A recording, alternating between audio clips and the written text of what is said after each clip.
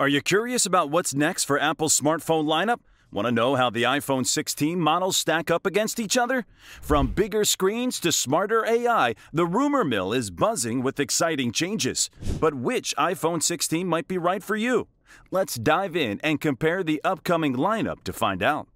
Before we get into the nitty gritty, let's set the stage. We're looking at four models in the iPhone 16 lineup the standard iPhone 16, the larger iPhone 16 Plus, and then the premium iPhone 16 Pro and iPhone 16 Pro Max. Now, you might be thinking, wait, isn't that the same lineup we have now? And you'd be right, but don't let that fool you. There are some exciting changes brewing under the surface. Let's kick things off with one of the biggest changes, quite literally. While the standard iPhone 16 and 16 Plus are keeping their current sizes, the Pro models are getting a growth spurt. The iPhone 16 Pro is set to increase from 6.1 inches to 6.3 inches, and the Pro Max is stretching all the way to 6.9 inches from its current 6.7 inches. Now, you might be wondering, won't that make the phones huge? Well, here's where it gets interesting. Apple's reportedly using some clever tech called border reduction structure, BRS, to slim down the bezels. This means we're getting more screen without the phones becoming unwieldy bricks in our pockets. It's a win win situation. More display real estate for our content, but still manageable in the hand. Moving on to something that's got the tech world buzzing buttons. Yeah, you heard that right. Buttons can be exciting, especially when we're talking about a brand new one. All four iPhone 16 models are set to feature a new capture button. Think of it as a dedicated camera shutter button, but with some extra tricks up its sleeve. This capture button is expected to be pressure sensitive and support gestures. Imagine being able to zoom in and out by swiping on the button, or focusing with a light press and capturing with a firmer one. It's like having a mini DSLR right on your phone. And for all you vloggers and selfie enthusiasts out there, this button is positioned perfectly for when you're holding your phone in landscape mode. But wait, there's more.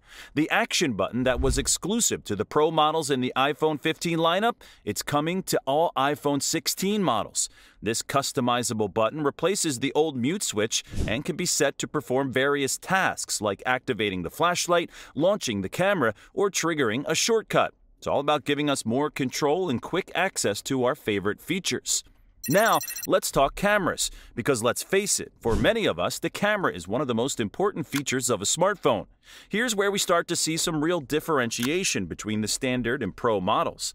The standard iPhone 16 and 16 Plus are getting a bit of a makeover in the camera department. Apple's switching things up with a new vertical camera layout reminiscent of the iPhone 12.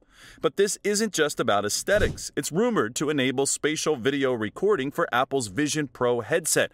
So if you're excited about creating immersive content, this could be a game changer. On the Pro side of things, we're hearing whispers of some serious upgrades. Both the iPhone 16 Pro and Pro Max might be getting the 5 times telephoto lens that was previously exclusive to the Pro Max. This means better zoom capabilities across the Pro line. There's also talk of an improved 48 megapixel ultra wide camera, which could be a huge boost for those sweeping landscape shots or cramming more people into your group photos. But here's where it gets really interesting. There are rumors floating around about a possible super telephoto lens for the Pro Max. We're talking about zoom capabilities that could rival dedicated cameras. While the details are still fuzzy, the possibility alone is enough to get any photography enthusiast excited. Now, let's geek out a bit and talk about what's powering these devices. All four iPhone 16 models are expected to use the next generation A18 chip. But before you think this means they'll perform the same, Apple's got some tricks up its sleeve. The word on the street is that Apple might differentiate the chips between the standard and Pro models.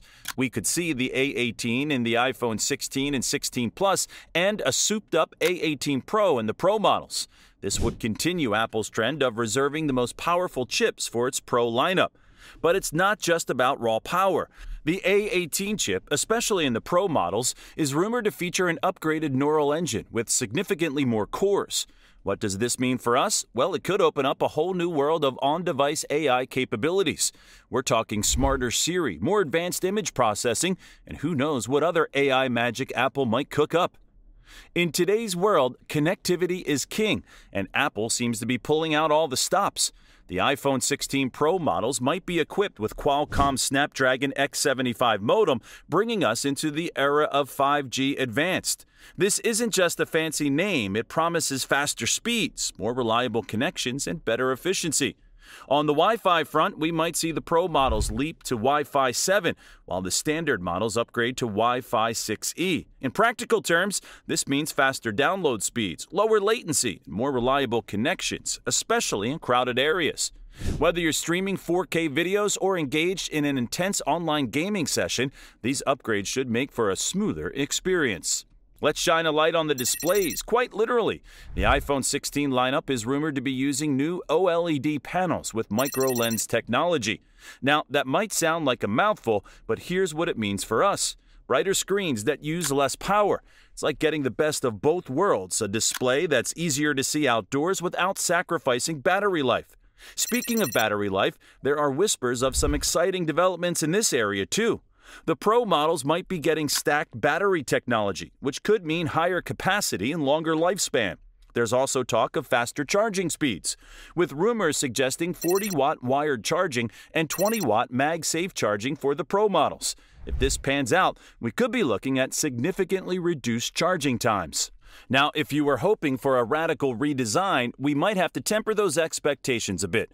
The overall look of the iPhone 16 lineup is expected to be quite similar to the iPhone 15, but that doesn't mean there aren't any changes. For one, we're hearing rumors about new color options. The standard models might come in black, green, pink, blue, and white, while the Pro models could see a new rose or bronze color that sounds pretty intriguing. There's also talk of a new finishing process for the Pro model's titanium frame, potentially giving it a glossier, more premium look. While hardware often steals the spotlight, let's not forget about the software side of things. The iPhone 16 lineup is expected to launch with iOS 18, which is rumored to bring some significant AI enhancements. We're talking about more advanced Siri capabilities, AI assisted content creation, and possibly even on device language models. To support these AI features, Apple is reportedly upgrading the microphones across the iPhone 16 lineup. These new mics are said to have better water resistance and an improved signal to noise ratio, which should make Siri more responsive and accurate, especially in noisy environments.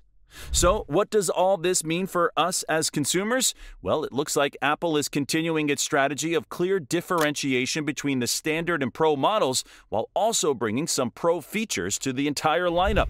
The standard iPhone 16 and 16 Plus are shaping up to be solid upgrades with the new capture button, vertical camera layout, and potential AI enhancements. They're likely to appeal to those who want a great all around iPhone without breaking the bank. The Pro models, on the other hand, are where Apple seems to be pushing the boundaries. With larger displays, more advanced camera systems, and potentially more powerful AI capabilities, they're targeting power users, creatives, and those who want the absolute cutting edge of mobile technology. Of course, it's important to remember that all of this is based on rumors and leaks. Apple has a knack for surprising us, and there could be features or design elements that nobody's seen coming. But based on what we know so far, the iPhone 16 lineup is shaping up to be an exciting evolution of the iPhone. Lastly, whether you're a mobile photography enthusiast, a power user who needs the latest and greatest, or someone who just wants a reliable and capable smartphone, it looks like the iPhone 16 lineup will have something to offer. As we get closer to the expected September 2024 launch, we're sure to learn more details. And who knows, Apple might have a few more surprises up its sleeve.